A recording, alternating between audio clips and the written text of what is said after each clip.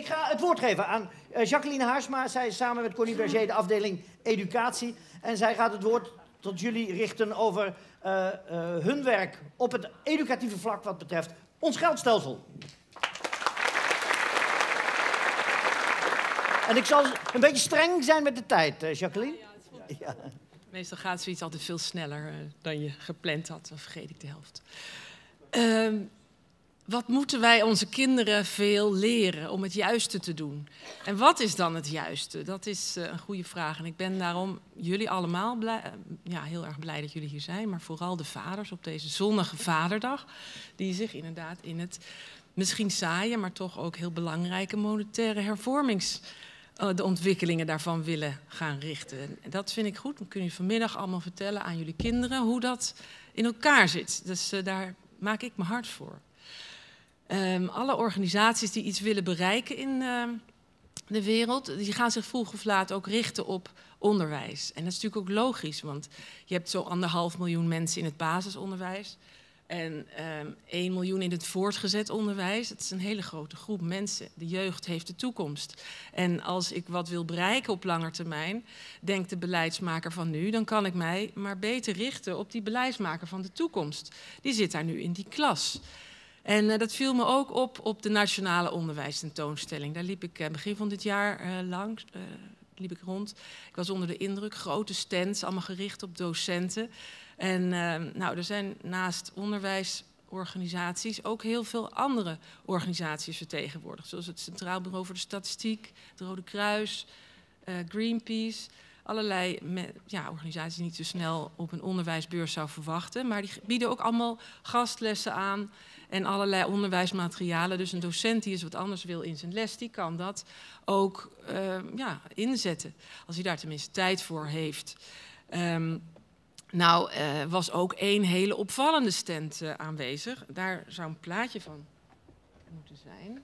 Dat is dit.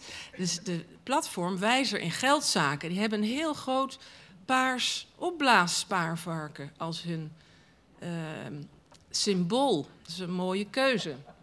En uh, dat is een uh, platform opgericht door het eh, ministerie van Financiën na de financiële crisis. Omdat zij ook wel inzagen dat wij met z'n allen als burgers eigenlijk niet opgewassen waren tegen het marketinggeweld van de financiële sector. We waren met z'n allen massaal in allerlei producten gestapt waar we vervolgens ontzettend veel verliezen op leden. En daar hadden wij dus gewoon niet genoeg kennis. En dat blijkt ook eigenlijk wel, want financiële educatie is eigenlijk ondervertegenwoordigd in het onderwijs. En daarom heeft dit platform een week van het geld geïntroduceerd. En die is nu uh, volgens mij al een jaar of tien. En dat is in maart ieder jaar. En dat is gericht op het onderwijs.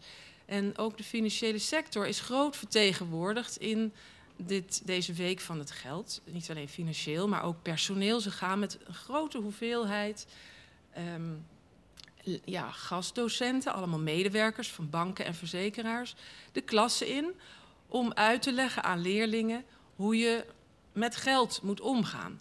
En dat is natuurlijk heel erg belangrijk, want ja, we moeten gewoon meer leren daarop. We moeten financieel geletterd raken. Dus dat is goed. Uh, ik was wel blij om te zien dat nu ook de laatste maand wel gesproken wordt dat zoiets standaard in het onderwijsprogramma moet. Want dat is tot nu toe nog niet zo. Week van het Geld is iets vrijwilligs, dus niet iedere school krijgt daar wat uh, van. Nou, de leren ze allemaal hele mooie dingen. Hè. Dit is Nibud die dat zei. We hebben niet genoeg uh, financiële geletterden in ons midden, dus wij moeten meer weten. En dit is een voorbeeld van wat ze leren in die klassen op de basisschool. Mooie muntjes, ordenen, allemaal heel belangrijk. Maar er ontbreekt iets heel belangrijks. En dat is, hoe komt ons geld in omloop? En hoeveel? En wie bepaalt dat eigenlijk? Dat is iets wat eigenlijk helemaal niet in het onderwijs terechtkomt. Alleen uh, mensen in het voortgezet onderwijs, HAVO, VWO, bovenbouw, die economie kiezen, die leren dit dan, die krijgen de basisgegevens van geldscheppende instellingen en wederzijdse schuldaanvaarding. Dus dat is alleen daar vrijwillig en dat is iets wat je dus verder niet uh, leert. Dus dat moet veranderen. En uh, mensen moeten ook niet denken van, oh, financiële zaken zijn zo vreselijk ingewikkeld. Dat zijn ze wel, maar het is iets wat ons allemaal moet dienen. Hè? Dat is het belangrijkste. Dus vandaar dat wij als Stichting Ons Geld ons ook richten op ehm, ja, onderwijs. We geven ook gastlessen. En ehm, waarom is dat nou van belang? En uh, dat is eigenlijk de kern van mijn verhaal. Als je op school leert over natuur, wetten en wetenschap, dan uh, leer je hoe je die natuurwetten moet gaan bestuderen en hoe je ermee kunt werken, maar zelf verander je niets aan die wetten.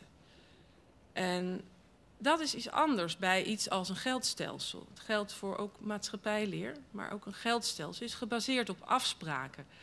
En als die afspraken ons niet bevallen, dan kunnen we ze veranderen.